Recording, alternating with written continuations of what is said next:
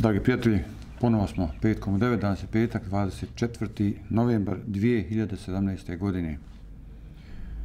Kao što je poznato, prije dva dana izrečena je prvostepena sudska presuda pred Međunarodnim sudom pravde u Hagu, sada već ratnom zločincu Ratku Mladeću.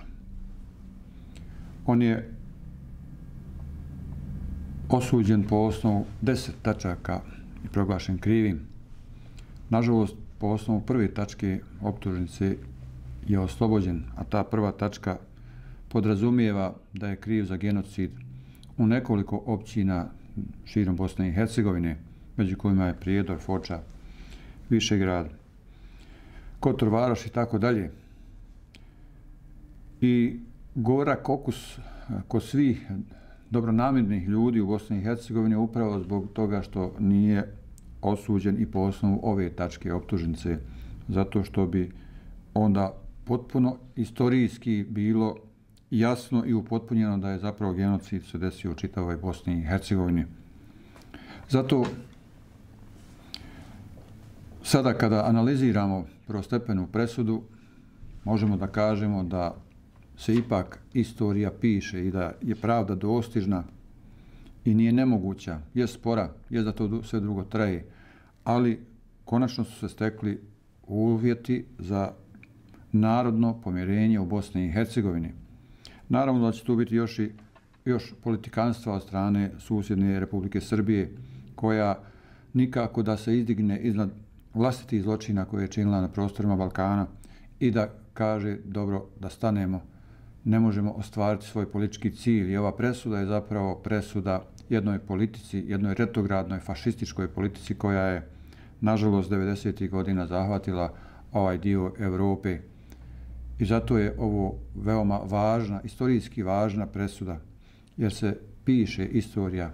Ovo je presuda gdje je decidno i jasno navedeno da je ovo najmonstruoznije nešto što se desilo posle drugog svjetskog rata i to baš generalu Vojske Republike Srpske Ratku Mladiću.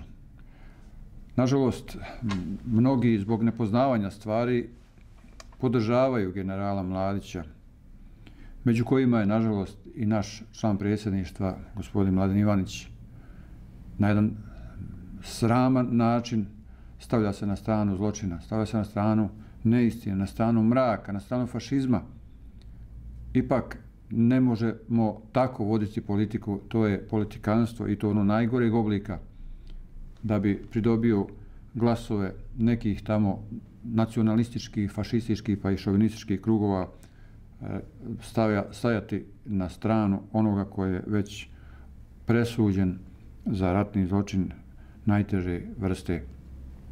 Zato mi moramo učiniti sve da se Ustav Bosne i Hercegovine promijene, da ne bude dominantno nacionalno, da ne kažem nacionalističko, da ipak taj, ta kombinacija nacionalnog i građanskog bude e, iz, izbalansirana, jer jedino na taj način će svaki pojedinačno glas da se čuje svakog građanina Bosne i Hercegovine.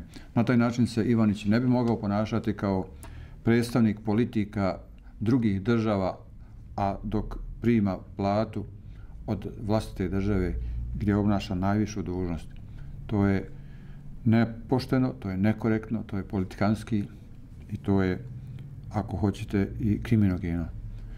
Zato, evo, koliko sutra mi obilježavamo i slavimo Dan državnosti Bosne i Hercegovine, 25. novembar. Zato ovom prilikom želim svim građanima Bosne i Hercegovine koji ovu zemlju doživljavaju kao svoju da čestitam ovaj veoma važan praznik u istoriji Bosne i Hercegovine. Ovo je zapravo jedan državno, državni kontinuitet Bosne i Hercegovine i sviđalo se to neprijateljima Bosne i Hercegovine ili ne, ovaj dan će se obilježavati sve dok je Bosna i Hercegovina i dok je oni koji vole i žele ovu zemlju da doživljavaju kao svojom.